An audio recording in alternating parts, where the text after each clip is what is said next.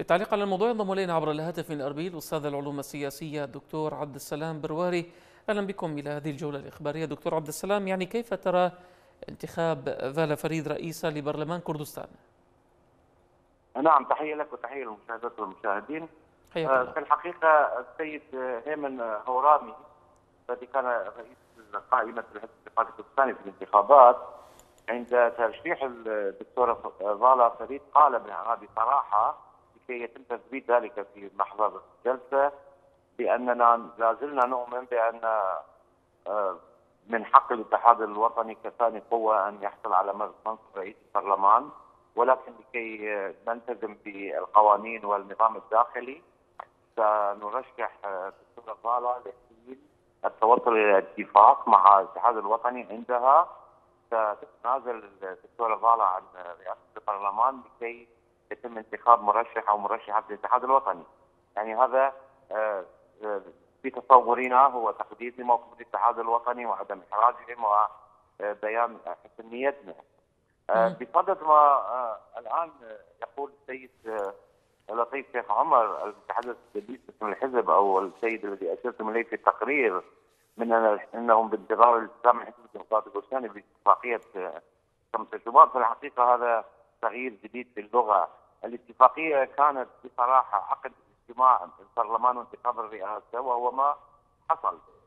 وهم لم يتحركوا ثاني نقطة كانت عقد اجتماع لمجلس محافظة كركوك. نعم. انتظر الإخوة البقية إلى يوم بعد الظهر ولكن اعضائهم قالوا إننا نحن لا يمكن لنا أن نحضر الاجتماع وننتظر تعليمات فوقية. بمعنى مع أن اجتماع مجلس محافظة كركوك كان بدعوة من الاتحاد الوطني لكن هم لم يحضروا الاجتماع. النقطة الثالثة كانت التوصل على إلى وثيقة سياسية تتضمن رؤية مشتركة لبرنامج الحكومة للسنوات الأربعة المقبلة. في الأسبوع الماضي الوزارة المفاوضان اتفق على هذه الوثيقة. هل انتخاب فالا يعني دكتور هل انتخاب فالا يعني من الممكن أن يفك الاشتباك بين الكتل السياسية؟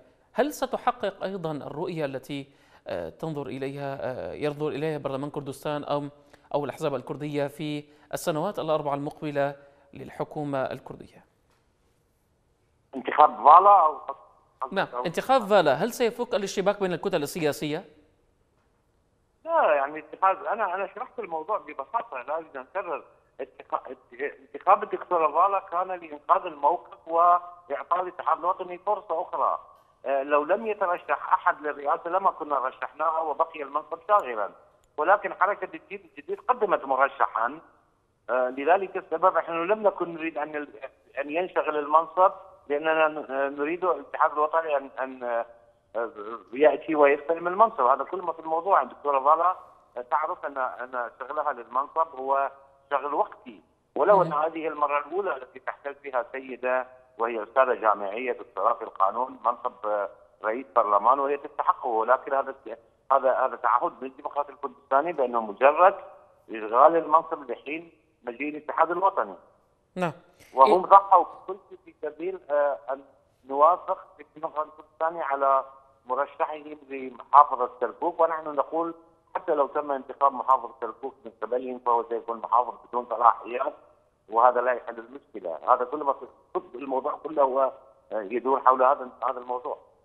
نعم يعني هذه التطورات الأخيرة إلى أي مدى ستنعكس على تشكيل الحكومة الجديدة؟ أنا أتصور الخطوة المهمة التي انتظرها الجميع منذ 30 9 يوم اجراء انتخابات هي أن تنهى الجلسة الأولى للبرلمان بانتخاب رئاسة البرلمان. الآن هناك رئاسة برلمان الإجراءات هي التالية في الأيام المقبلة سيقدم رئيس كتلة الحزب القادم مرشحنا لرئاسة الوزراء عندما يكلفه البرلمان لديه 30 يوم للتباحث. كل ما جرى لحد الآن هي مباحثات أولية غير رسمية. المباحثات الرسمية حول تشكيل الحكومة ستبدأ بعد تسمية مرشح الكتلة الفائزة وهو الديمقراطي الكردستاني، لذلك أنا أعتقد الموضوع سيبدأ من الصفر ويبقى على الاتحاد الوطني. هل يريد أن يربط مواضيع أخرى بتشكيل الحكومة ام يركز على تشكيل الحكومة؟ الاتفاق الذي جرى مع حركة التغيير في الحقيقة أجريناه مع الاتحاد الوطني قبلهم لأننا نعرفهم القوة الثانية وهم لهم نفوذ في منطقة أخرى ولكن ربطهم لموضوع محافظ كركوك وإصرارهم على ذلك والتضحية بكل شيء في سبيل ذلك هو اللي منع أن يحضروا اليوم وأن يشاركوا في انتخاب أو تقديم مرشح. نعم الدكتور عبد نعم مفاوضات تشكيل الحكومة تتبع بعد تكليف المرشح بالتأكيد. نعم الدكتور عبد السلام برواري أستاذ العلوم السياسية كنت معنا عبر الهاتف شكرا جزيلا لك.